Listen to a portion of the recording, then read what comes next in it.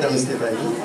Euh, on est euh, la chorale de l'école Abbé Landry ici. Euh, moi, je suis Chris, l'enseignant de musique, puis je suis accompagné de Maxime, notre autre enseignant de musique. On va faire quelques petites chansons de Noël pour vous mettre dans l'esprit.